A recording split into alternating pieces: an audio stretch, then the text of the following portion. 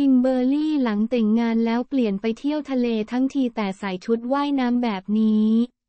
แต่งงานมีครอบครัวไปเป็นที่เรียบร้อยแล้วสำหรับนางเอกซุปตาร์คิมเบอร์ลี่แอนโวลเทมัสกับ สามีพระเอกสุดหล่อหมากปริญโดยหลังจากเข้าพิธีวิวาห์แล้ว หมากคิม ได้พาครอบครัวไปเที่ยวพักผ่อนที่ทะเล แต่ดูเหมือนว่าทริปนี้จะแตกต่างจากทริปก่อนๆ เพราะชุดว่ายน้ำของคิมนั้นมันเรียบร้อยผิดหูผิดตา เสื้อแขนยาวและท่านกลางสวมเป็นกางเกงขาสั้นเข้าชุดกัน โดยโพสต์นี้คิมเขียนเคปชั่นว่า moving on from the wedding to our family moon thank you naga at scenery Phuket เครื่องหมายสี่เหลี่ยม waking baby mark kim งานนี้ก็ไม่รู้ว่าคุณสามีห่วงหรือเปล่านะ